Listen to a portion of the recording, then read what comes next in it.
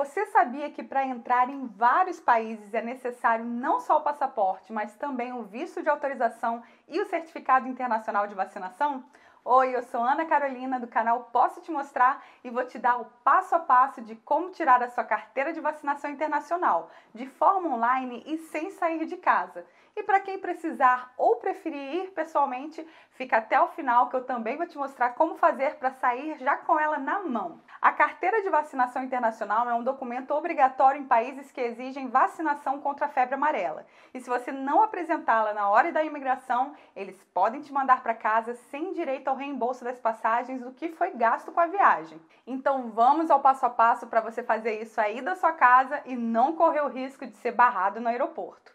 Primeiro de tudo, você precisa ter tomado a sua vacina de febre amarela em um posto de saúde ou a vacina específica pedida pelo país que você irá visitar. A de febre amarela é oferecida pelo SUS de forma gratuita. Guarde o comprovante da vacinação. É preciso ficar de olho aos prazos. No caso da vacina de febre amarela, o turista precisa ser vacinado com no mínimo 10 dias de antecedência da sua viagem.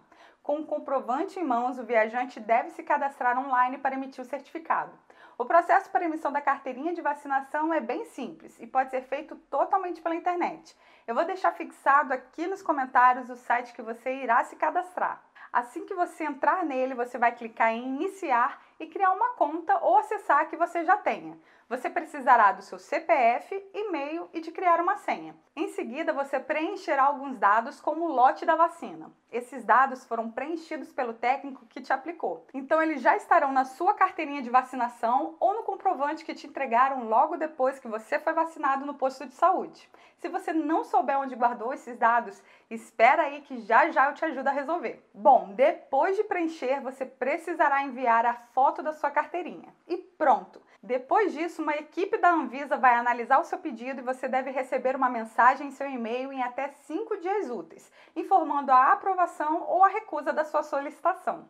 Chegando o e-mail, é só entrar lá no seu cadastro de novo, imprimir o seu certificado internacional de vacinação ou profilaxia e se preparar para sua viagem. Como a vacina da febre amarela tem uma dose única, basta fazer tudo isso somente uma vez e você poderá usar esse documento para a vida inteira. Eu te aconselho a deixar junto com o seu passaporte. Assim, sempre que você precisar dele, estará lá. E se você tiver alguma dúvida de como tirar ou renovar seu passaporte, é só clicar aqui em cima que eu fiz um passo a passo explicando tudinho. Lembre-se de ao trocar de passaporte retirar o certificado de lá também. Mas bem, se você preferir fazer a solicitação para a emissão do certificado internacional presencialmente, basta tomar sua vacina e comparecer a uma das unidades do Centro de Orientação para a Saúde do Viajante. A relação dos locais que oferecem esse serviço está disponível na lista que eu também vou deixar fixado aqui nos comentários. Leve seu CPF, carteira de identidade e o cartão de vacinas atualizado e você receberá na hora seu certificado. Se você não souber onde está sua carteirinha, você pode se dirigir até lá, tomar a sua de febre amarela e obter seu certificado também. Em alguns casos, o documento é exigido até mesmo para as pessoas que vão apenas passar pelos aeroportos, em conexões ou escalas. Alguns países adotam essa medida para não correr o risco da doença entrar no país. Então, vale a pena ficar de olho nas exigências dos destinos que você deve visitar. Eu espero ter te ajudado, mas se ficou qualquer dúvida, pode falar aqui nos comentários que eu respondo por lá. Eu espero que essa informação tenha sido útil para você. Fique à vontade para tirar suas dúvidas aqui nos comentários. Nós já alcançamos a meta desse ano, que era de chegar aos 3 mil inscritos. Nosso muito obrigada! Agora ajuda a gente a chegar ao final de 2021 com 10 mil novos amigos aqui no canal. Se inscreva, compartilhe esse vídeo nas suas redes sociais e envie para quem você achar que possa se interessar.